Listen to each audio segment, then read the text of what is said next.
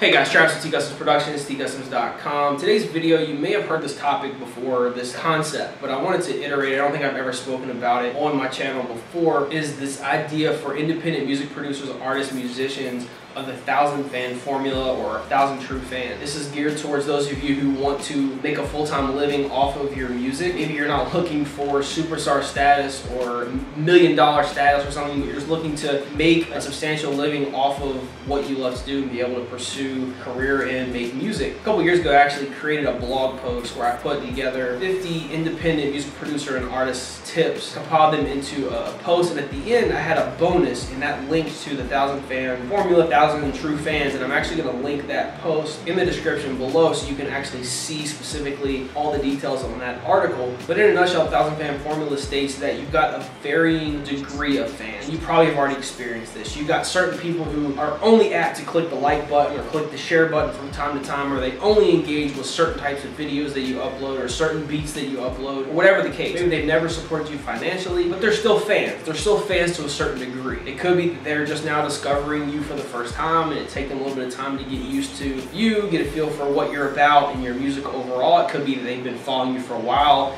and never are really going to support you financially to a certain degree, and that's okay. You're, again, you're going to have different levels, and you need all these levels. The second level of fan will be somebody who's put some sort of money down. Maybe you released a single on iTunes as a precursor to, say, your project that you're going to drop later on. Maybe they supported the single for a dollar. Maybe they didn't pick up the project later on, or maybe they opted into your list. They bought your offer. They supported you at some level, but they haven't been like a consistent supporter. Maybe over time, again, as they start to know, like, and trust you more, and they become more of a fan over time, maybe willing to spend more money with you. And then you've got more of like a hardcore fan. Somebody who has supported you project after project, who continues to support you basically on anything that you drop. You may have some that are kind of scaled back a little bit that don't support everything, but they're pretty regular customers. They pretty much support a lot of what you do depending on what type of content and what kind of projects and services you have to offer, merchandise, all that kind of thing. And in all reality, the fans who consistently support you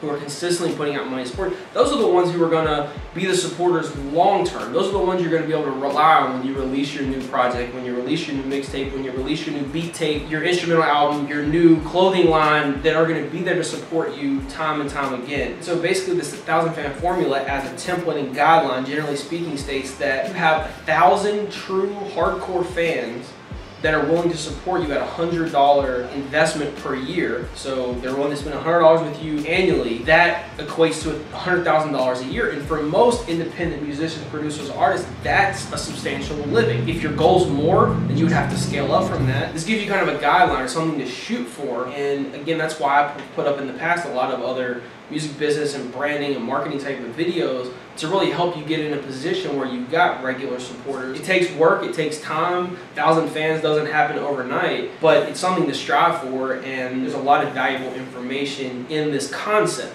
Again, I'm going to link to that original blog post, and at the end there's that bonus that has a link to the Thousand Fans, Thousand True Fans, I think is what it's called. And you can see all the specifics there, but I hope this was informative and helpful in some way. If you have any other questions, comments, concerns, you can drop them in the comments. Shoot me a message on social media, or the best way, if you have any serious inquiries, the absolute best way to get in contact with me, because I check emails multiple times per day to send an actual inquiry through my contact form on my website, so you can just link to tcustomz.com and send me a, a message or email there. Please like like, share, subscribe to the channel. I will talk to you guys in the next video. In the meantime, feel free to go back through any of the marketing and branding videos on the channel as well as the blog, and I will see you in the next one. Peace.